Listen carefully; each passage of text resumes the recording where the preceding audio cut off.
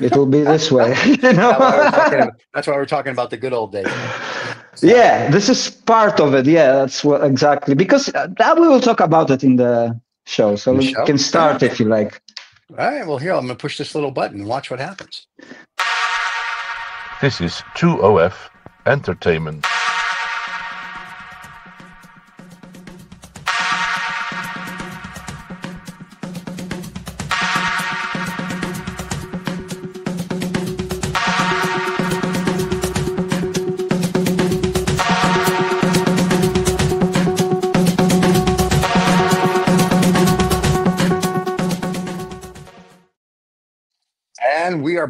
We are live. Hey. Hello, guys. It's There been some time.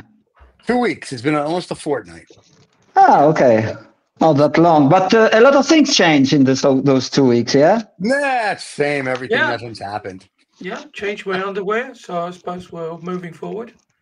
Yeah. So, so are you talking about Mr. Trump winning the election? Is that what you're talking about? Oh, that's one of it. Yeah, probably the most important or the most.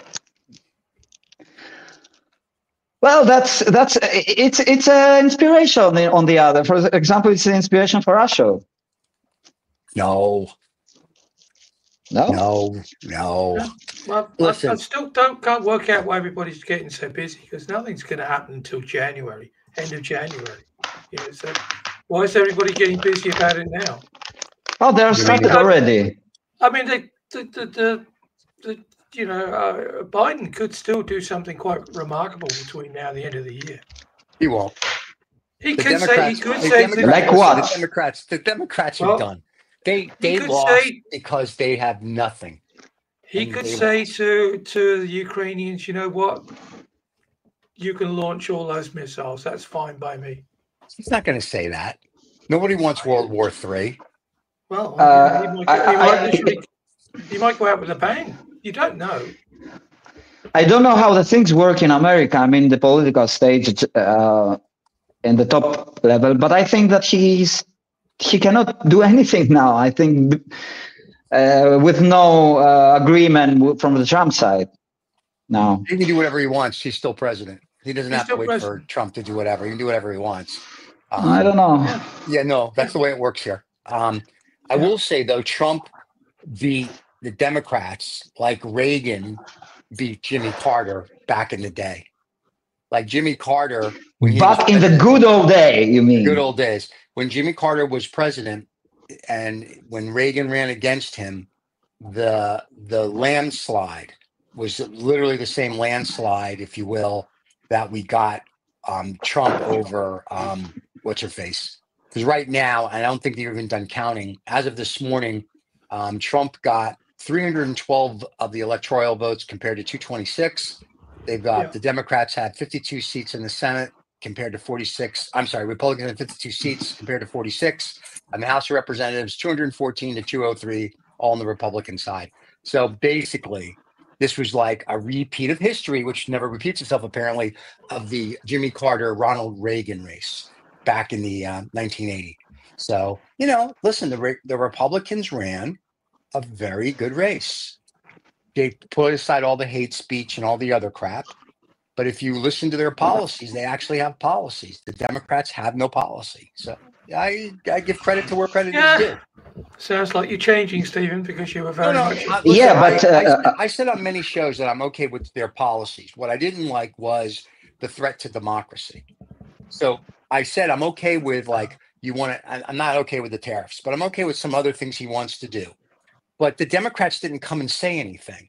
I told you on the shows, no one's saying what they're going to do for Medicare, Social Security, the poor. And Elon Musk, in an article, basically wants to cut two trillion dollars out of um, out of the budget, and what he wants to take it from is Social Security, Medicare. So he's going to basically make a civil war, and then um, they want to get rid of hundreds of thousands of federal employees.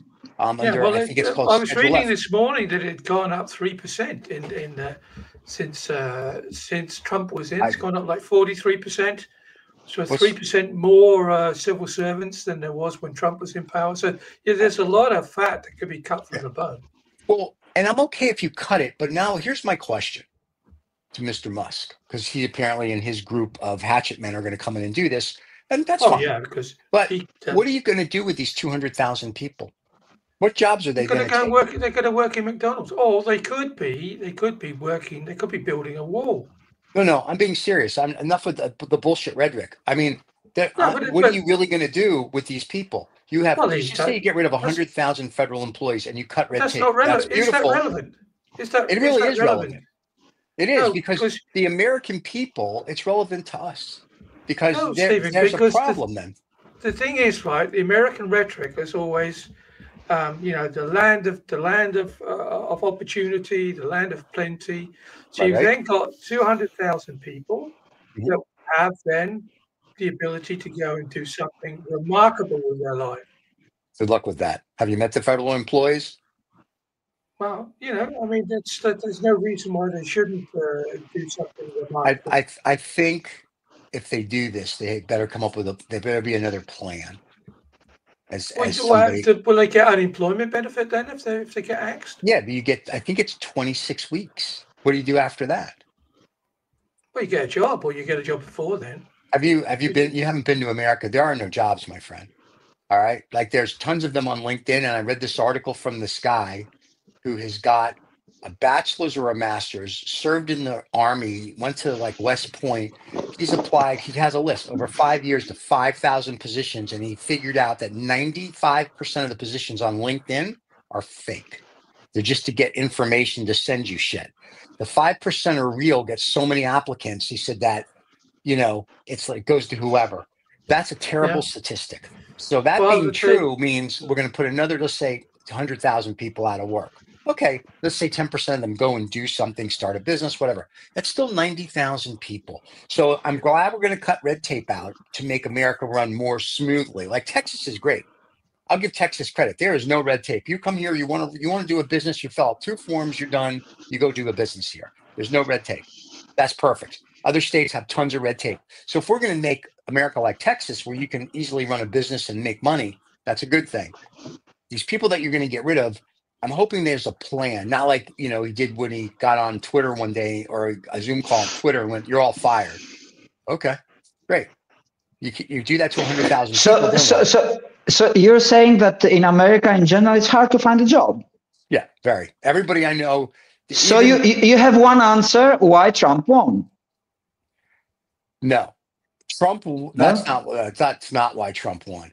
Um, economically, America right now is at an all-time everything. Like before he won the election, like Yeah, but you said that up, it's hard with the jobs. It was hard when he was still president, and we had COVID. Nobody worked. You stayed home for two years and got a check. So After four years of Biden administration, listen, the problem, what's happening in America, in my opinion, is that because of automation, it's hard to find a job. Even if you go to McDonald's, where you know Mr. Trump worked for a day, um, they're not hi- they're not going to hire someone, let's say David's age, because you're going to be like, Oh, "Hey, you're yeah. too old.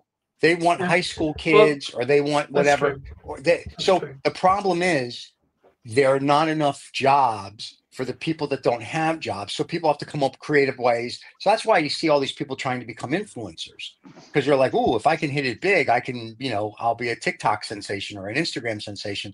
That's is a very different mentality to what it's it used to interesting be. that that the name of this the name of this particular episode we're doing is um, was it bad in the good old days?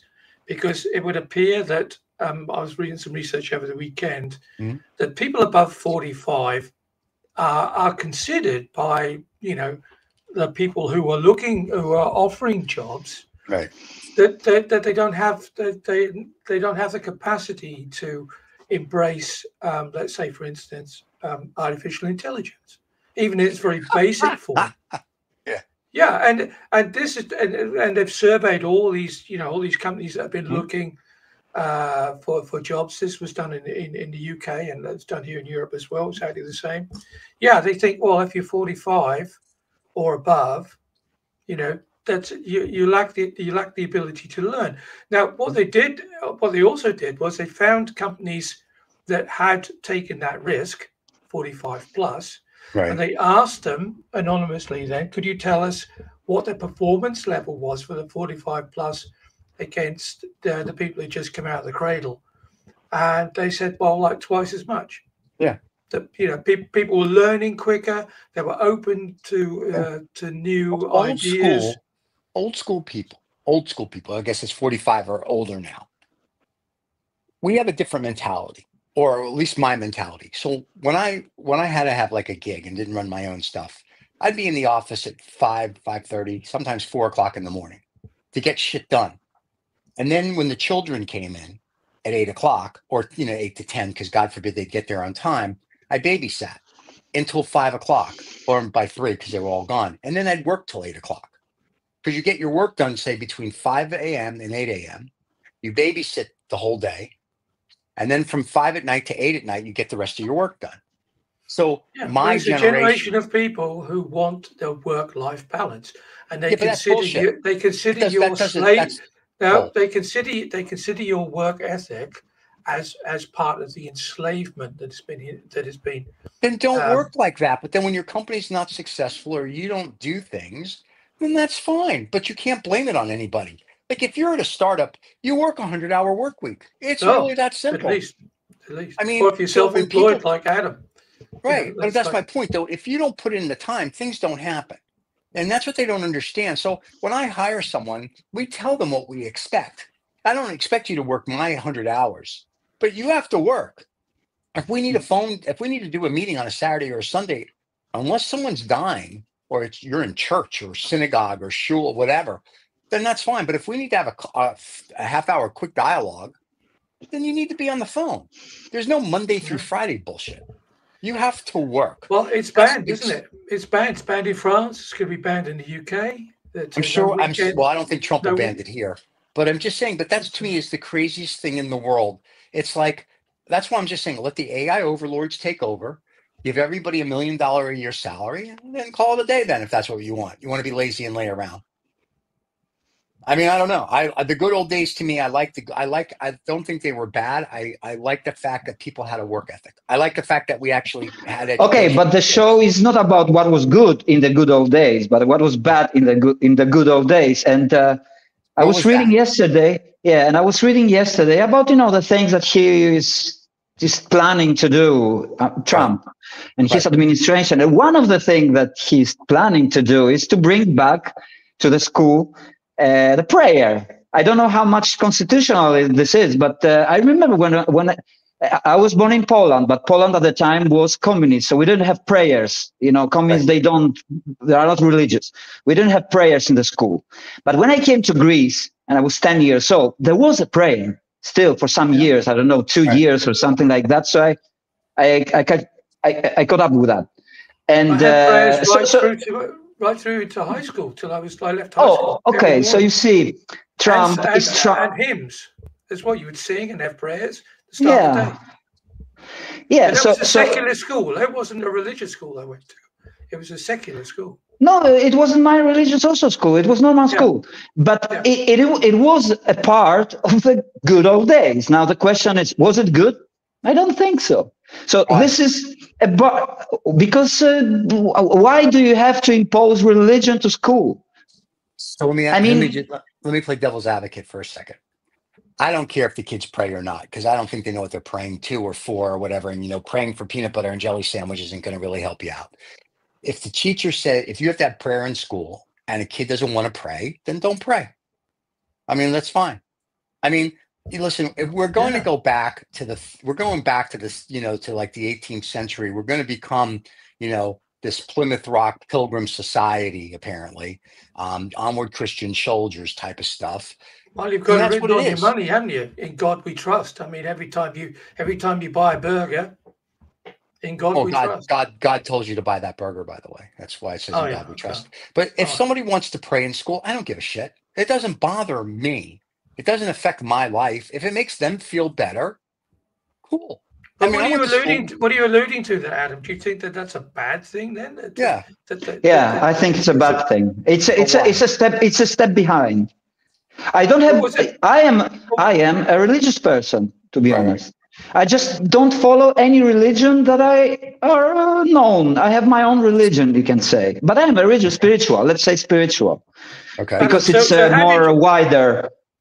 Uh, Adam, how did you feel then at 10 years old then? Because you said you had you had nothing in Poland. Then you came to Greece, which we know is a very uh, orthodox, and I mean that in the nicest possible way. Country. yeah, yeah, yeah. How did that? But, but look, look, uh, in Poland, there was uh, a religious school, but we had to do it outside school. We had to go to the church. There were like classes with uh, pupils that, and we had like two hours every day, something like that. I don't remember now, uh, or two or three times a week. I, I don't remember that. But we had classes, religious classes, but we had to go outside school. We had to go to to. So the regimes there were they were uh, allowing that because they knew that religion was an important part of the society. They just didn't want it in the school, and I I thought it was okay. Well, at that time I was very young, so I, I can't uh, say much because you know you just follow the rules that are uh, uh, given to you.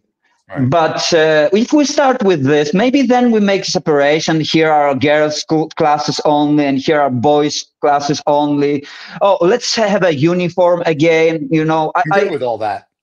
you are good with all that. I'm good with not just separating the boys from the girls, because you know you. But I'm saying I'm good with uniforms. I'm good with kids having discipline.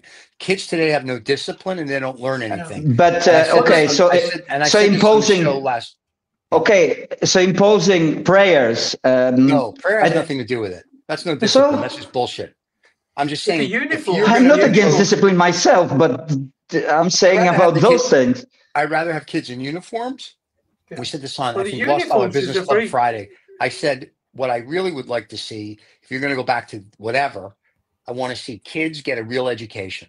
Not this crap. They go in there, they learn absolutely nothing. Yeah. They know that I want kids to get an education. And the way you got an education when we all went to school is there was discipline.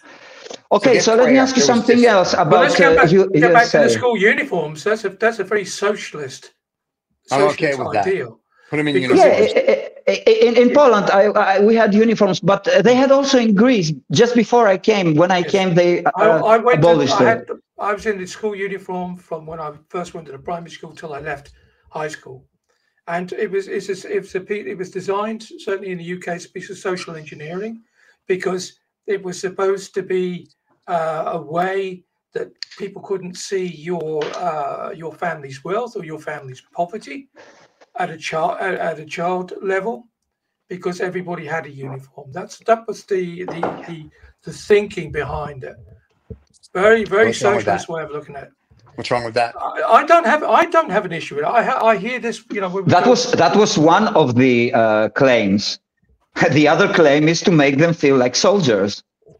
They are What's wrong with just uh, just just um, when you play chess, the smallest uh, piece, how it's the called. The pawns. The pawns. Yeah, the homes. They're just like home. You're just a soldier. Uh, There's no difference Uh, because it's it's against the human nature. We are not the same anyway. Anyway, So let me ask you this: the schools today are better or worse than we had back in the day? is that a discussion every generation has. No, no, I'm just saying that we, there were no school shootings when I was a kid. I went to school. I didn't worry about someone I was going to. I, I can't say because I'm not in the school. I don't know how they operate now. But you Do went you to school. But when you went to school, no one tried to kill you. Oh, But that somebody tries to kill me in the school now. Well, So- now they try in America. Have you? Do you read the? We have a school shooting here every other day. And this is uh, wh- wh- what's the reason for that? Well, I think I'm, sure there's a video, list. video games. Video, I mean, yeah, for video games, no. Well, maybe uh, excuse me. I, I have another suggestion that we Europeans we say it to the Americans. Well, we don't sell guns here in, in Greece, for example, or in Europe. Right. So it's it's really really hard to have a gun. I agree it's- with that. it's- it's, you uh, know, we have this a, is- we have a we- right for that. Yeah, you have a Yeah. right for that, but th- this right has consequences. Well, then there you go, and we're okay with that apparently as Americans, because God forbid you take our guns away. So, Can't do that. so, so it's out of the question. The the, the question that you said that uh, they were there were killings. When I was a kid going to school, there were still guns, but no one was shooting each other at the school. Well, maybe the, the, the it's easier to get a gun now. Yeah. Uh, I think it was easier back then to get a gun. Today, I think it's a little supposedly a little harder.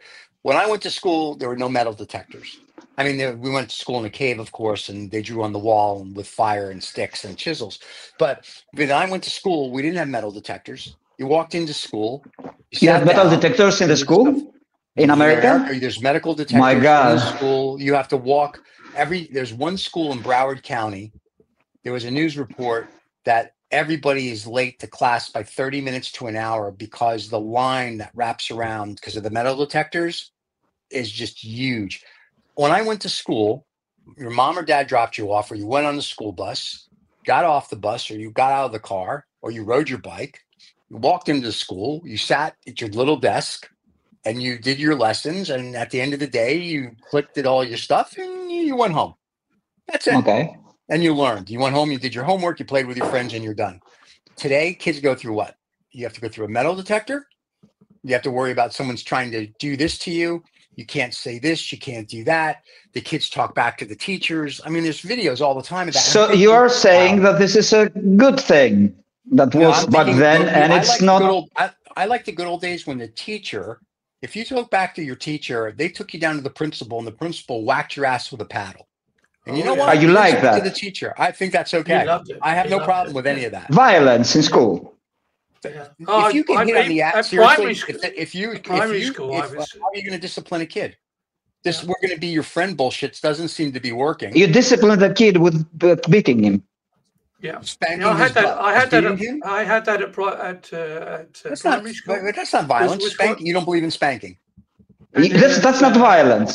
No, spanking is not violence. Spanking What's is what's the definition of violence to you?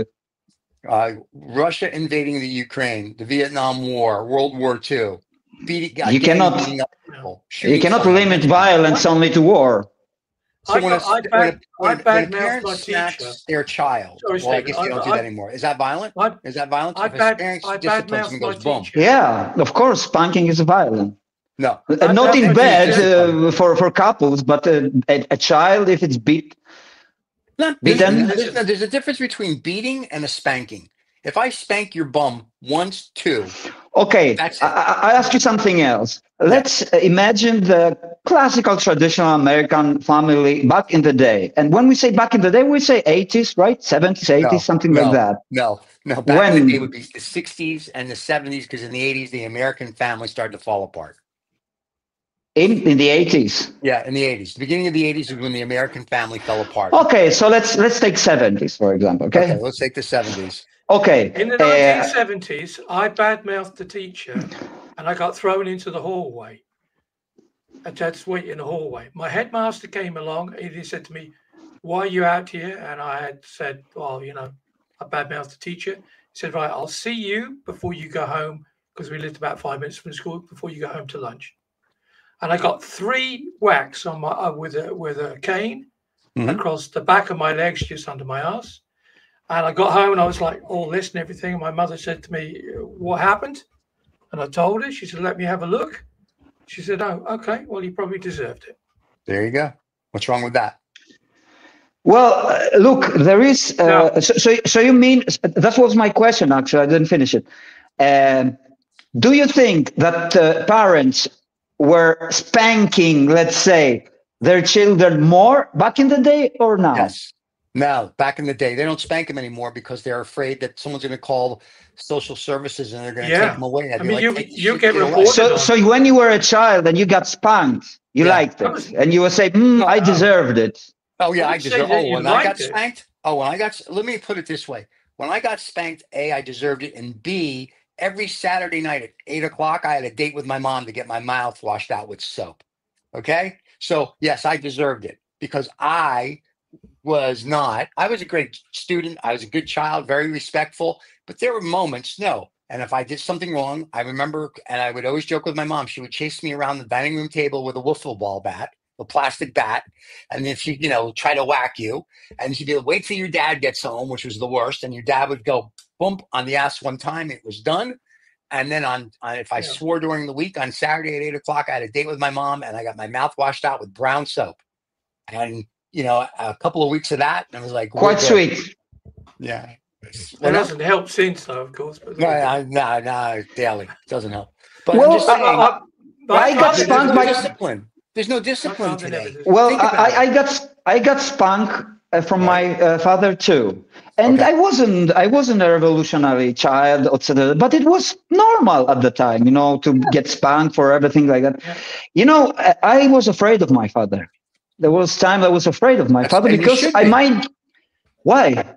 You, I should be afraid of my your- Your parents. parent, your parents are not your friends. Your parents are your parents. Your parents. Yeah, I'm talking about friends when you fear. I'm talking about chi- ch- uh, children fear, child fear. I fear. wasn't afraid of my. I wasn't afraid of my parents or my grandparents. Well, I was. I got spanked. But see, Or maybe you didn't. I I was. Yeah, but I aren't you just- talking I- about two different things now? Because uh, it's like spanking. My mother would say to me, you know, she'd just say, "Well, I wasn't spanked. I was beaten. I there's was a beaten. difference. There's a Yeah, difference between Ah, banking, well, spanking, so and so so where where are the limits? Because Like I just said, sometimes if somebody goes wait. boom boom, wait, wait, wait. When Right. you live in a society when spanking is not violence, well, Right. a little more spanking, or maybe a little more spanking, maybe it's also not a violence. No. because he deserved it. Because No problem. depending on the bad thing that he did, Yeah. which is totally, I mean, it's subjective. It's uh, I don't know. And uh, the parent who had a bad day, I don't know, with his um, work or maybe with his uh, uh, wife or something like that, yeah, got all his you know bad energy and all this crap that he had in his uh, psyche uh, towards his child because that was happening also. That's abuse. I mean- That's abuse. That's different. Well i think abuse starts from spanking I, I mean my parents, my parents never abused me. When I got you smacked- often you often you know generalize something that comes from your life uh, i'm talking about generalizing I'm talking about very. I I know my childhood. I didn't get abused. yeah you I know your childhood but you don't know others other childhoods But I'm not worried. I don't. you don't know my childhood I I understand that, but that's not the point. The point is there's a difference between discipline and giving somebody a spanking, one, two, or a smack, or whatever it might be. Do you mean that all families now they don't have disciplines with their children? They don't discipline Correct. their children. None. None. None. None. That's why you see the problems you have with these kids today. Well, I None. know a lot of families that I know that they are disciplined without any spanking, without any violence. Even look, violence is not only spanking, not only you know clapping or something. It's also voice. It's also shouting at your child all the time. My father was shouting. Of course, it's violence. Not. Of course, it's violence. Stop Of course, it's is You-. Stephen. Stephen, you have not lived my childhood. You don't know how much my. So let me tell you that my father, when he was mad, he was shouting so loud, so much, so that I was afraid of him. Is not this not violence? It's fucking violence, and I have psychological problems with that now. Still, after psychologists, after working with myself a lot, and uh, you know i'm a guy who is very open into and still have problems into dealing with it and i know a lot of people a lot of people who have same and worse problem because of that childhood of that discipline you know uh, way of uh, getting the children to the right way You see, I have a problem with all of that. Not you or anybody else. I was raised in the Northeast. I'm from New York. Everybody screams and yells at each other. That's how you say good morning. So when you get screamed or yelled at from somebody, you're like, okay. And when they're done, it's over. The problem is, is that this is why you, this is what's happening. Everyone's trying to coddle these kids. The kids can't handle it. If you tell someone nowadays your work is terrible, you bullied me. You don't like grow a fucking pair of balls. This is the problem. Nobody's uh, nobody tells their children No. that they suck at something because they're afraid. And if you know what, if your mom or dad yells at you because you did something wrong, then when they're done, they still love you. It's not whatever. Everybody handles it differently. The problem is, is that we we're making this generation of children a bunch of little pussies, and they can't handle everything. They think they're. what do you mean pussy what do you mean pussy what do you They're mean weak. pussy pussy's a nice mentally, thing mentally weak. i I love pussies i don't know if you don't like pussies i like pussies It's a it's an old school term. Get used to it. Look it up. in the yeah but it's a symbol it's a symbol because all day the women are the weak part. That's why they are calling The them pussies and not dicks. Right. So, but the but they're becoming. We have a society of a bunch of mamby pambies, male and female. I don't understand actually- this. What you're saying, actually. All right, pussies. They've men are pussies. There's no men anymore. No one's. What does it mean to They're be a man? What does it mean to be a man? What what do we have to do to be a man? Uh, first We have to be penis. hard. We have to be. Well, okay. Yeah, you do. Yeah, you have to have a penis. Let's start with that. So the transgender thing we'll put Yeah. aside for a while. If you have to have a penis, that's number one to be a man. Number two, you have to understand the old school ways. You have to know how to be a gentleman. You know have to have to treat people with respect. You have to know how to treat a woman with respect, whether they want it or not, because the women's lib crap is all crap. This woke stuff, nobody cares anymore, which is proven by Mr. Trump winning. So the thing is, is that we're not raising gentlemen and we're not raising young ladies. We're raising a society of entitled little mamby-pamby pussies. And if you don't like the word pussies, replace it with something else, weak human beings. But we're not building a, a Replace it with something else so that I can understand better because I don't like the term pussy. Pussy is a nice thing for me. Yeah, Very nice nice thing thing. for everybody. So, so, but my point There are people. There are people who are weak. Some people are weak. Some other Our are not our whole weak. society Eh, in America is weak. Our whole society here is weak. Don't. let's not- Okay, so not- make America this. great again means also this that uh, stop I, thi- I being think pussy. so. It does. Yes, I think it- Donald right. Trump wants to toughen up America. Well, you don't have to worry. Well, you only have to worry about if you're a pussy then with Trump in power is that he's going to come and grab it. He's going to grab it. anything He's going to grab a lot of it, which is good. He's going to grab a lot So of it. that'll make America But I mean, great. I, I don't know. I mean, it would be interesting to see whether or not uh, Trump, uh, Mr. Trump as it is now, or the president-elect, I should, I should say, as to Yeah. uh, Oh, you know, he's what's going to president. happen. What's what's going to happen to woke? Is that all going to go out of the window? Is that is that going to be like? We'll, we'll look back in four or five years' time, be like the COVID thing. Oh, it happened. It was just like a, a wave Woke of is dead. something. Woke is dead. I hate to tell Woke you that. dead. There was I, I was listening to a commentary guy on Bloomberg the other day, and after Trump won, and and I just read all the vote stuff. They basically said that people are tired with this woke political correct crap, and they really do want, which is what I keep saying, the old school, old ways. Enough about I hurt your. I don't give a shit about your feelings. If I'm in a business meeting and I say something that you don't like, too bad.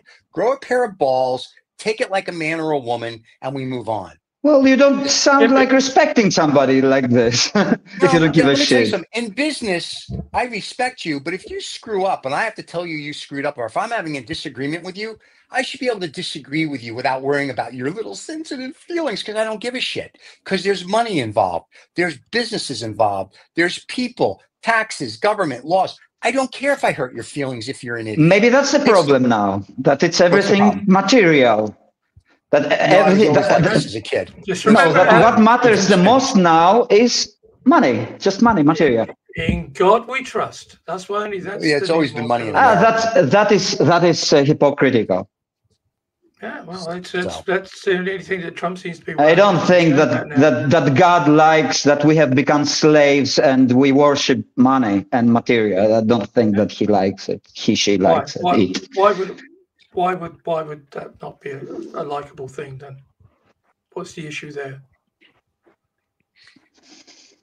Why should why should you not like money?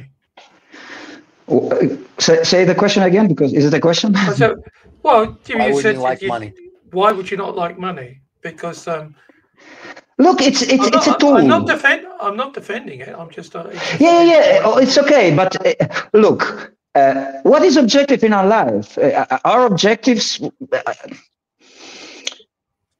now, comparing the society back in the day and now, what I see one of the differences is that we have become more materialists than we were used to be, and uh, uh, you can see people like I can't You necessarily see- agree with that because uh, are we not on this journey, journey, jour- excuse me, journey of materialism?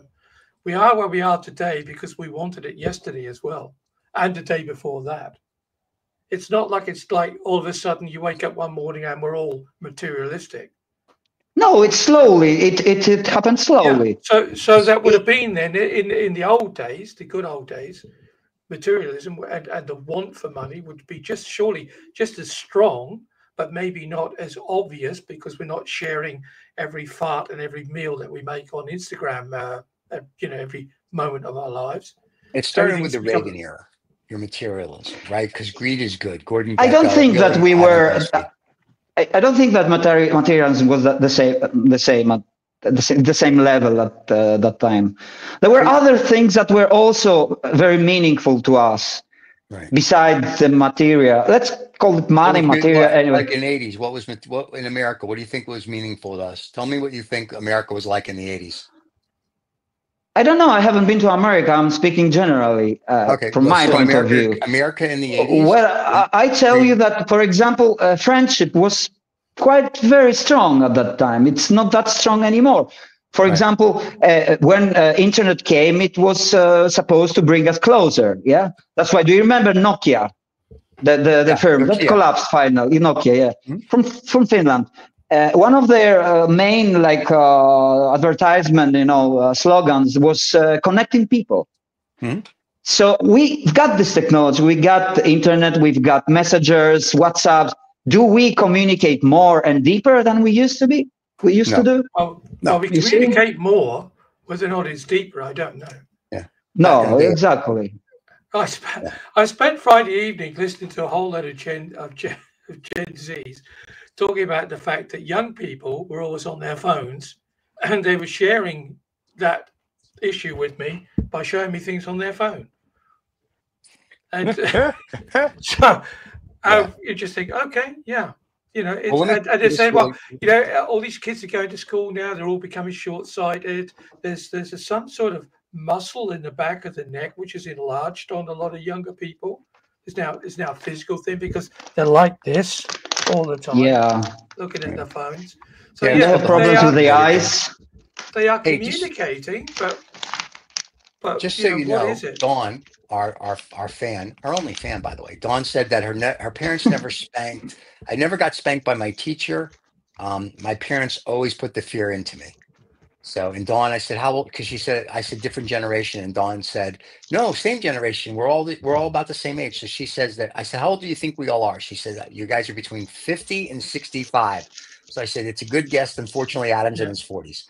Um, Yeah. so, and I No, said, I'm very- and I- 52. are you really? Oh, okay, good. Yeah, guess. you So don't I, I, know? take I, I, I thought you were in your forties. I'm sorry. Oh, yeah, no, yeah. I'm 52. And yeah. I'm, and, I, and I'm No, you always told us So you always told us you were forty something. Yeah, you always No. forties. Yeah. Oh, But yeah. uh, I, I- I have my uh, the birth uh, year everywhere. I don't Oh, care. yeah. All right, all right, all right. So Dawn was I just correct. She look got all- young She because got all our. I like got pussies. Yeah, she got. She got her, I don't got her- spunk she got her- anybody. She, I I'm a positive thinking. She got she got her she got her ages right. She said 50 between 65. I said, well, David's really 73, but don't worry about that. So anyway, um, No, are you is saying that- 73?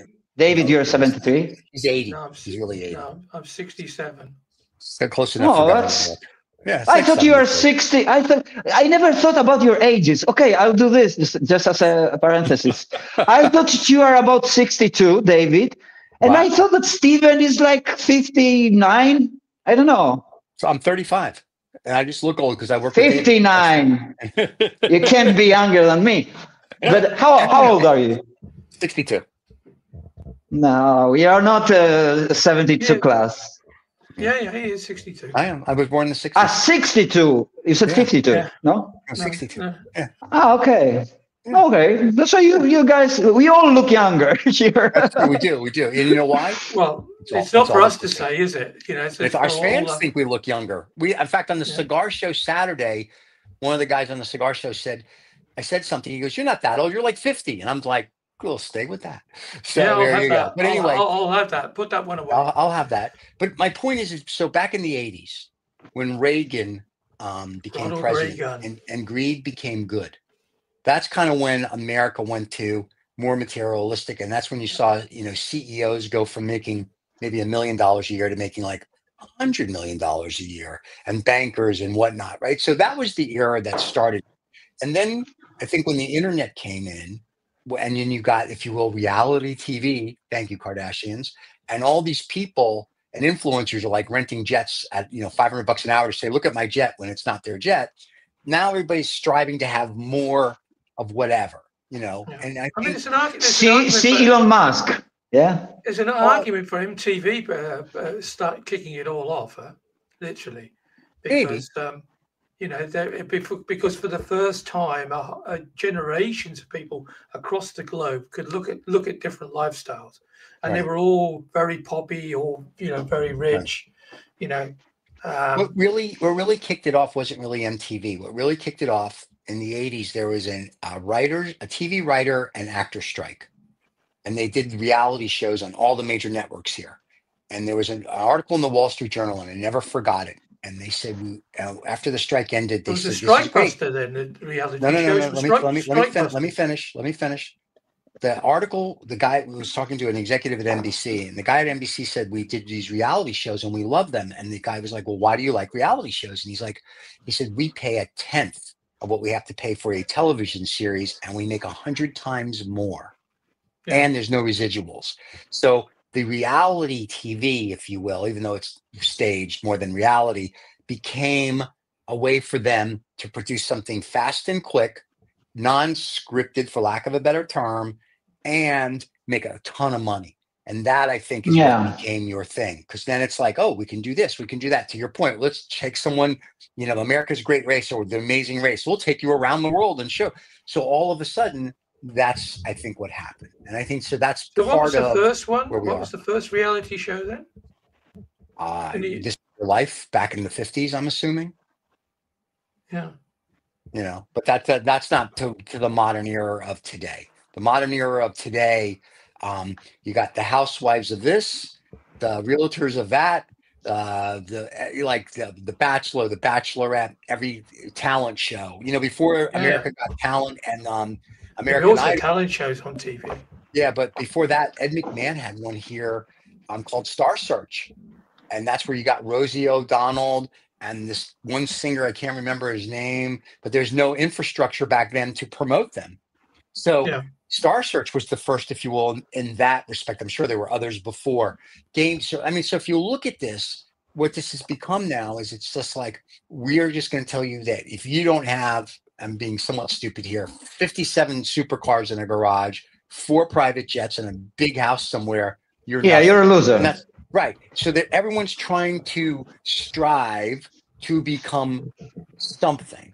And it's really just be the best you. But this all goes back to discipline, grounding, and your parents teaching you this is what's Do- important. This wasn't is not important. So if your Do- parents do you remember- it, it. Do you remember the the film uh, Dead Poet Society?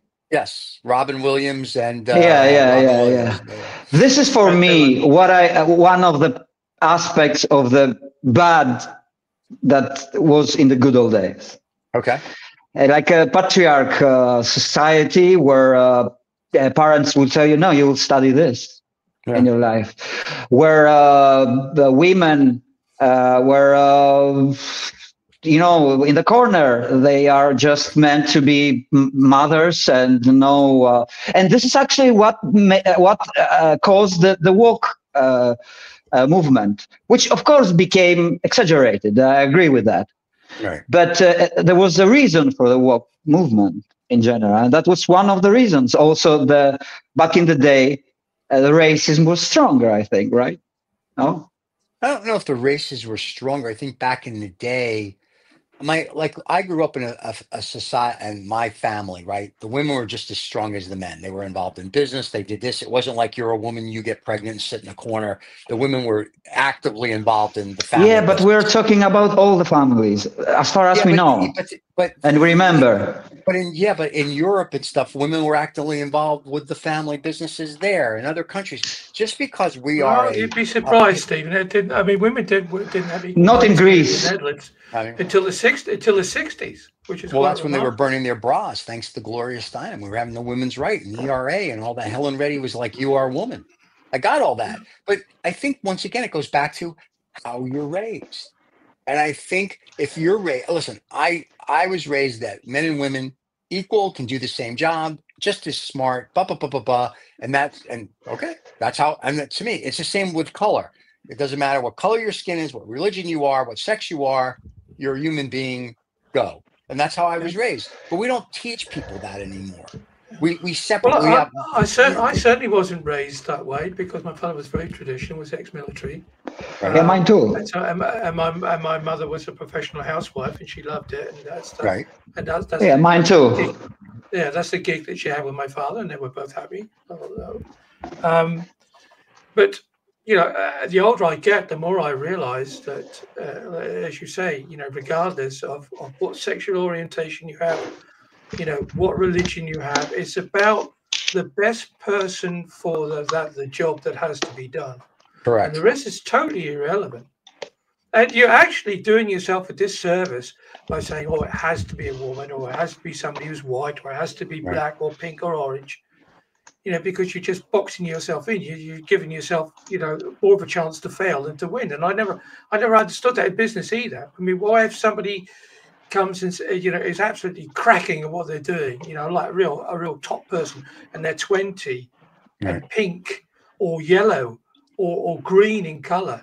You know, and I say, oh no, I'm Right. afraid I'm only it's only you only have to be black or white to come and work for me. How stupid would that be? Well, it's the same with age. We just discussed that earlier, right? If you over, Yeah, over yeah. it's like forty-five, you Ageism. can't do anything, and it's really funny because everybody I know over forty-five knows more more embraces technology and uses it better than everybody under forty-five. Yeah. They're like, "Oh, said, cool. Oh, oh, oh, That, oh, that's oh, oh." now that's now been proven. There are reports. You should Right. check it out. Reports on that. No, no, but that's my point. So we have all these hiring idiots, and we have they use AI. So if you have a CV that's longer than a page, I guess they can't read it because they're like, "Oh, you have too much experience. Too much, really?" I remember the last gig I had before I started my own little family office stuff. I remember somebody said something to me, and I've got I literally said to them because they were like maybe fifteen. I said, "I've done more in, in one day in my life than you've done in your whole business career." And they just Yeah. looked at me and go, There's nothing someone's going to throw at me that I have not done, handled, or can't handle. And I know how to get things done on a global basis. And I mean, I took their company from nothing to huge, but I laughed about that because here's somebody that can't even masturbate. Like they have no clue, right? They've never been anywhere Well, and they want to grow a I mean, global company and they want to grow a global company and i'm like and i literally said what have you done globally? And they're like well no i'm like so you think that because back then i guess i was 50 something i said do you think because i have experience i i said i will outwork you out fuck you and out drink you. And i said any day. And i was like i don't even give a fuck if i got the job. And i just like have a nice day. And two days later they offered me the gig. I was like seriously? And i took them from a nothing company to this big mega thing. And i laughed the whole time thinking you didn't even want to talk to me because you thought I couldn't keep up and they couldn't keep up with me. Like my team was people of age, all over 45, if you will, because apparently that's the old age now.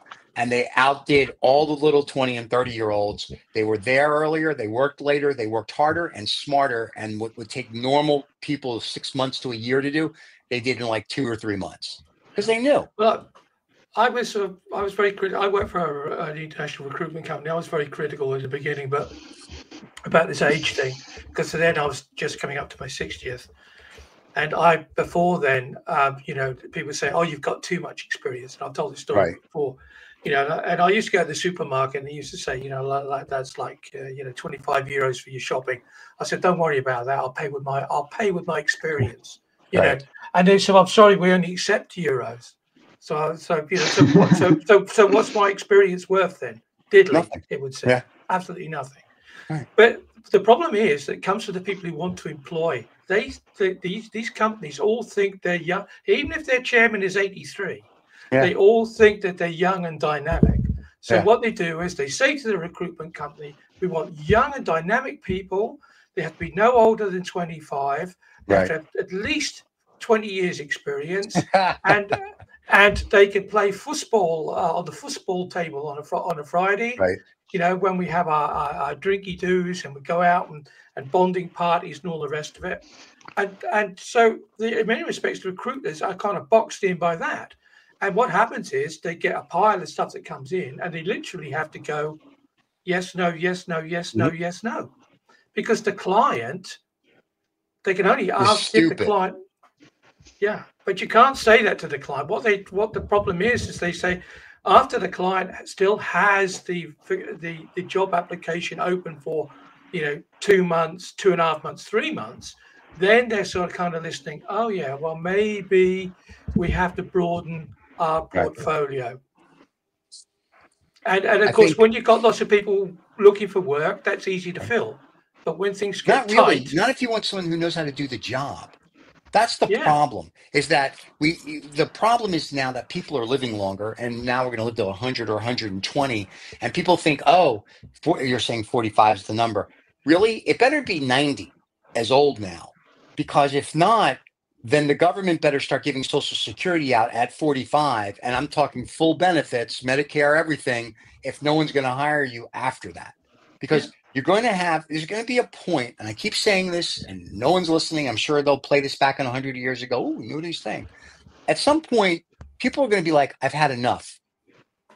And you don't want the, you know people to go i've had enough because we see what happens when that ha- when they say that.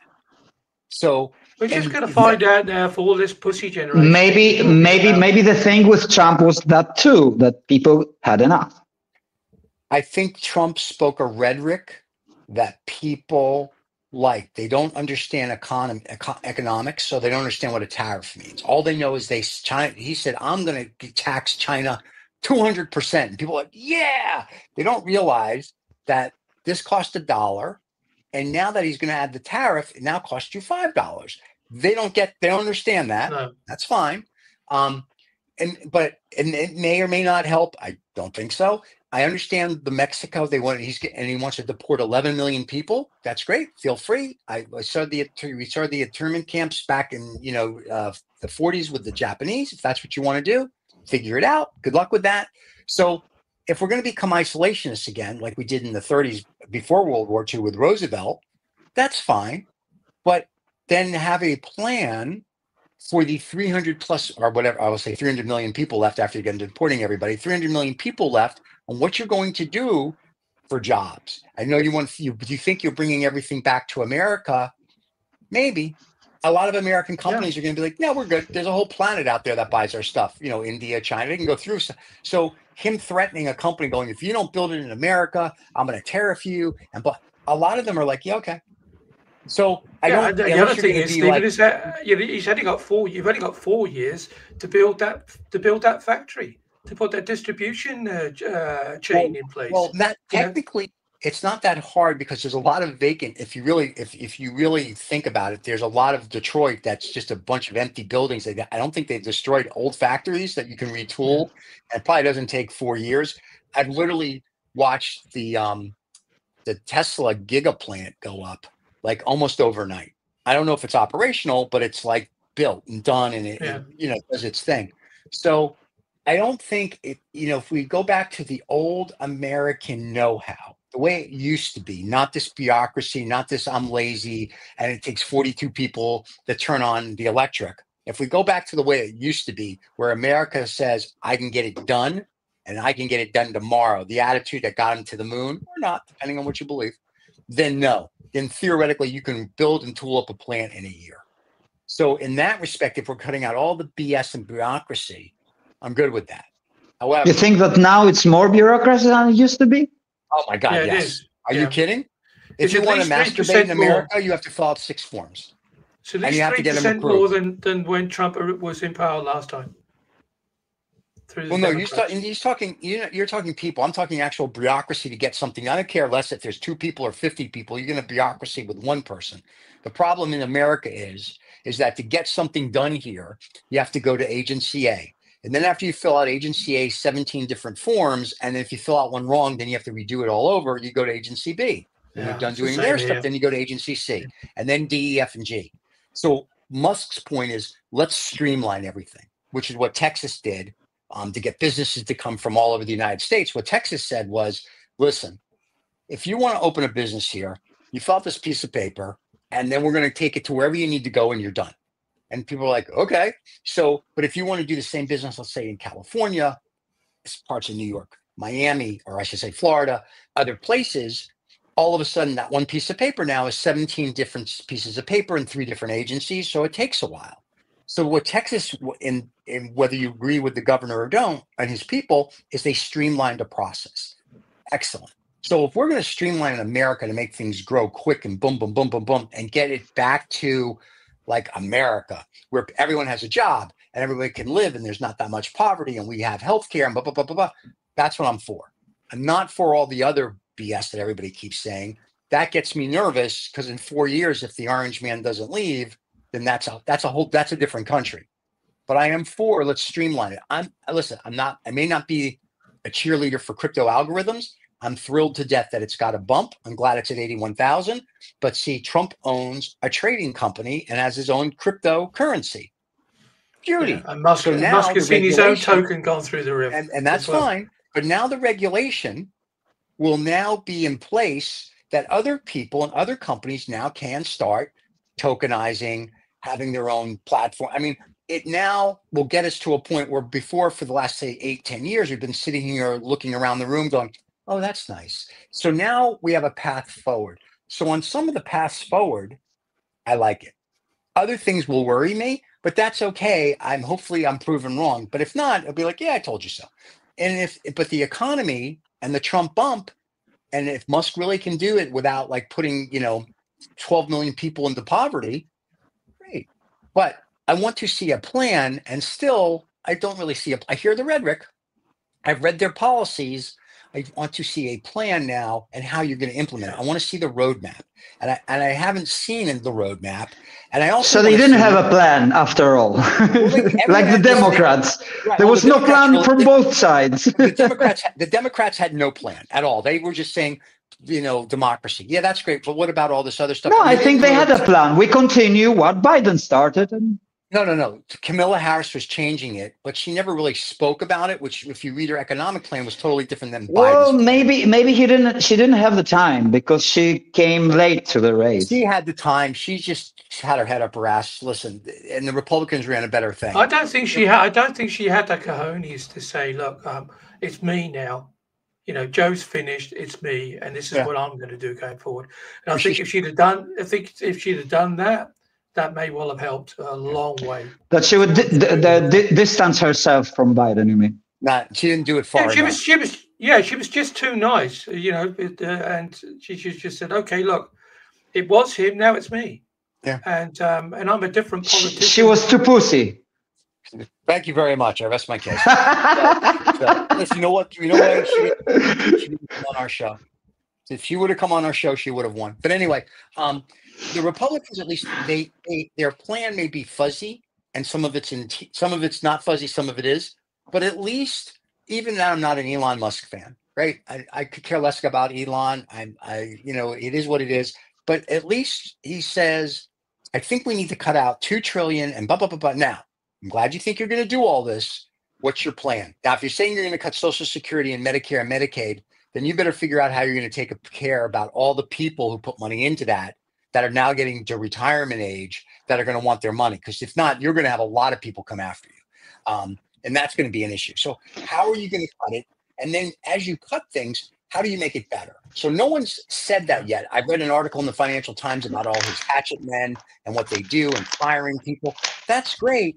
But now, what are you going to do to make it better? You can't run it like your Twitter because your Twitter is losing money. Your Gigaplant, I don't know what the hell it's doing. Um, your Cybertruck's made like crap. So, what are you going to do then? You're going to cut all this stuff.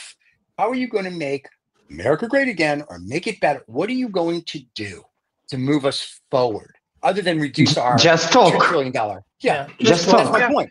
But Just thing talk. now And is- after four years, they would say, "Look, we made America great again." But where is Yeah. it? No, Uh, don't thing you is see? Don't you see that we are great again now? It's easy to talk the talk. We want him now to walk. the walk. Exactly. That's, that's the difference. That's, and and and the, and the problem is we have such a bureaucracy, and then Trump has his um his Schedule F or whatever it's called, where he can get rid of federal employees. That's fine, but I still go back to it's if you need to get rid of ten thousand federal employees or hundred thousand, whatever the magic number is, fine. What are we going to do with them? Because now they're displaced, and we have to figure out that. And uh, you know, like not well, what do we do? And B, when we before we get rid of them, have we figured out how to streamline it from A to Z? Or is it going to be like, well, there's nobody at B, C, D, E, F, and G. So you go from A and it just sits there now. How do you streamline it type of thing? It's Yeah. that's What what what does it mean, streamline? I don't uh, understand make the term. quicker. How do you how do you make things go quicker, faster, or more Ah, efficient? okay. Right. Yeah. That type of Right. thing. It's easy. It's easy to say we don't like it, and this is what Right. we would do about it. but uh, I think what Steve's alluding to is you know the journey in between those two remarks. Yeah. And uh, there was uh, there was an interesting. I was listening to some at the weekend, and he said he was talking about Elon Musk. He said, "Now, finally, finally, uh, uh, Donald Trump's got a brain, and the brain's called Elon Musk." So um, Yeah. there's that- That's, if you're an Elon Musk a fan. If you're not an Elon Musk fan, that's not really true. Yeah, well, that's Yeah. a match made in heaven. Yeah, but but what I know because I also because we, we read all the time now, you know, those guys who won, etc. And there was this uh, vice president Vance.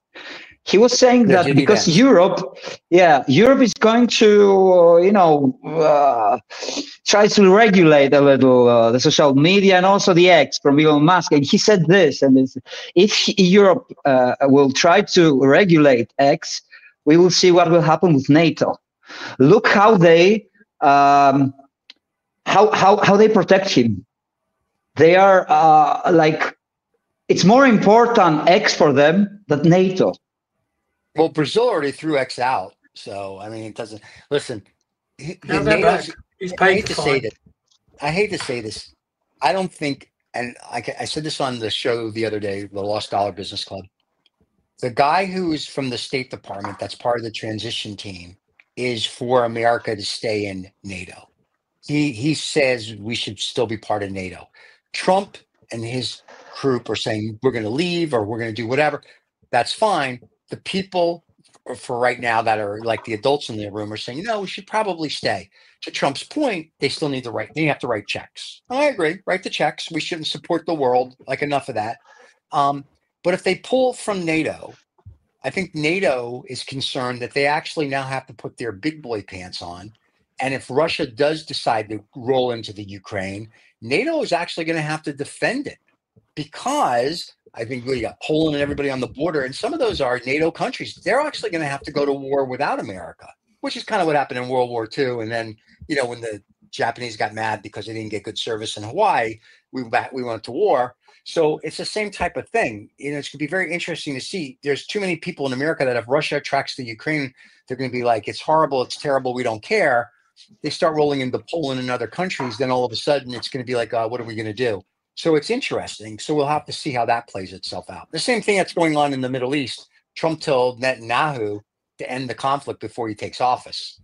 I mean, you know that's a bold that's a big bold statement that you know there's only one or two ways it's going to Yeah. end and and Well, all, he, just kicked uh, out Trump also has a has a uh, um, a general that worked for him before, and he said, um, you know, the way, the only way Israel's going to enter war is to, is to go in big and hard now. Yeah. Well they know And, that. uh, that's what that Netanyahu's wanted to do since day one.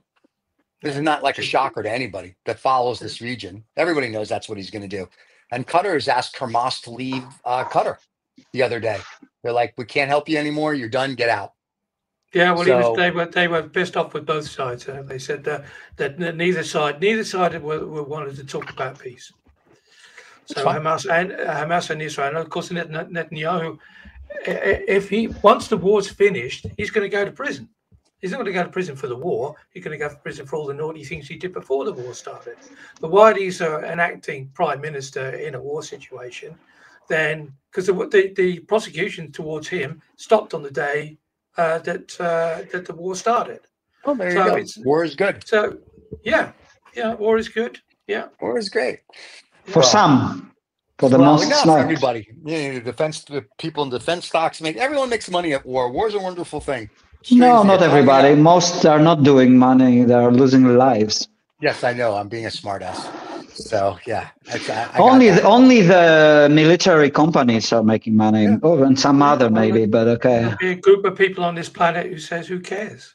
Yeah, well, and can I? And who here's the Well, a lot of people There's care. I think most care, but uh, what can they do? That's what they are there's a book that there's a book that I tout that I read last year. It's called The World. Just that's the title, The World. It's a big red thick book about yay thick, and it talks about the world from the beginning to now, and it talks about literally conflict and all every every s- is a story about the population and conflict, which are just wars, and it's fascinating. We've been fighting and killing for land for stupid stuff since day one. And Yeah. so that's just our nature. So it's like, all right, let's just. Get Oh, I over. don't think so because our nature is changing all the time. The only constant is change. No, But I, think- will tell think you what is for me the worst thing, uh, in my opinion, which not has been spoken much about it. But this is my uh, my belief that with the Trump uh, administration, I think that the climate change that's the biggest. Oh, the COP 28, And, uh, 29, yeah.